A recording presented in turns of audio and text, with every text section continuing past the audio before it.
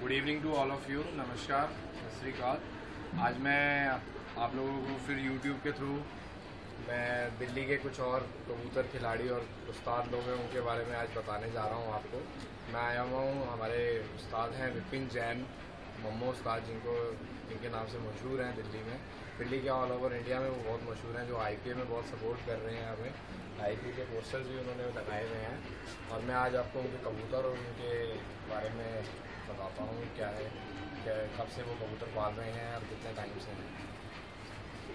उस्ताद विपिन जैन जी, उनके बारे में पीछे आप बताइए आई के रिगार्डिंग और आप कब से इस कबूतरबाजी के शौक में हैं, जो भी आप बता सकते हैं। मैं सेवेंटी फाइव से यानी कि ग्यारह साल की उम्र में से शौक को कर रहा हूँ। और एटी, पिचासी से इन कबूतरों को उड़ाना कंपटीशन वगैरह चालू करना, करा और आईपीए का जो रोजर भाई ने ये प्रयास करा है, ये बहुत ही अच्छा था, क्योंकि ये शौक को लोग कुछ घृणा के हिसाब से देखते हैं। पर ऐसा कुछ नहीं है, ये शौक बहुत बढ़िया है। और एक ये शौक ऐसा जिसके अंदर कोई जात नहीं है, कोई बात नहीं है, हिंदू, मुस्लिम, सिख, ईसाई, सब एक ही जात के हैं। और इस शौक को, क्योंकि कबूतर शांति का प्रतीक है, और इसको बड़े अच्छी तरीके से शौक को करा जाता है। और इस शौक के अंदर ना तो कोई पैसों की बाजी लगती सिर्फ़ इसके अंदर टूर्नामेंट के अंदर कप वगैरह दिए जाते आइए मैं आपको इनके कबूतर दिखाता हूँ। इन्होंने पोस्टर्स भी लगवाए हुए हैं अभी ये। और ये इनका जाल है बेसिकली पूरा ऊपर तक जो देख रहे हैं, कितना बड़ा जाल है ये। इसमें इनके जितने भी फ्लाइंग पिजन्स हैं, यहीं पे सारे। इस साइड में फीमेल्स हैं। और इस साइड में मेल्स हैं। मैं पहले आपको फीमेल्स दिखाता हूँ यहाँ पे। ये सब अभी उड़ान जो चल रही है, उसकी तैयारी में जाएँगे। और सब उड़ाने के लिए इनमें भी रेड कलर लास्ट टाइम मैंने आपको इन्हीं के शागिर्द नीटू जो भैया है, उनके बिज़नेस दिखाए थे, जिनके पास रेड थे। इनके पास भी रेड अभी बच्चे निकले हैं। बहुत सुंदर बच्चे हैं ये। मद्रासी लाल। बहुत सारी कलेक्शन है। इनके पास कितने बड़े इन्होंने रूम बना रखे हैं कबूतरों के लिए सैंदे हर हर कलर है यहाँ पे, मद्रासी होगा। और यकीन मानिए, बहुत अच्छी जी के नीचे प्राइस पूरा भरा पड़ा है कमरा। बहुत अच्छी उड़ान है इनके कबूतरों की। हर साल ये टूर्नामेंट्स करवाते हैं। एकता पिजन्स फ्लाइंग क्लब के नाम से। जो लास्ट टाइम मैंने आपको वीडियो दिखाई थी उस्ताद रिजवान, ये सब लोग मिल के ये एकता बिज़नेस फ्लाइंग क्लब भी दिल्ली में ये लोग करवाते हैं। तो अभी आई के फ़िलहाल जो गौर किया जा रहा है वो आई पे किया जा रहा है। और कबूतर देखिए आप बहुत बढ़िया कबूतर है इधर मेल्स हैं।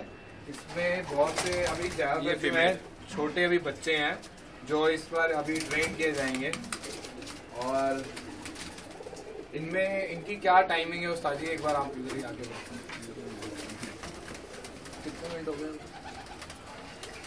अभी इनकी क्या टाइमिंग है? उस हिसाब से एक पहलवान को तैयार करा जाता है उसी तरीके से।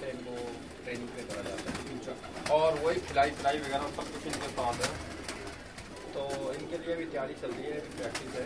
और 28 अप्रैल को फ़र्स्ट कंपटीशन वहाँ बच्चों का जिसमें बच्चे उड़ाए जाएँगे। कितनी गली के बच्चे एक से लेके नौ गली तक का बच्चा उड़ाया जाएगा उसके अंदर। और उसके बाद फिर पाँच तारीख का कंपटीशन फिर नौ का है फिर बारह का। तो ऐसे करके ये छब्बीस दो महीने लगातार नहीं छब्बीस मई तक चलेंगे। छब्बीस मई तक। छब्बीस मई तक ये शौक है। आइए मैं आपको मेल्स दिखाता हूँ उस साइड में। साइड में सारे मेल पिजियंस हैं। बहुत बढ़िया इनमें पहले मद्रासी और एक कबूतर इसमें मैंने काफ़ी बेहतरीन और ये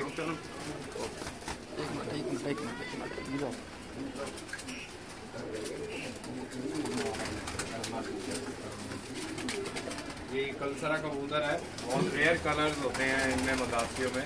गुलाबी पलकों का ये कबूतर है, बहुत अच्छा।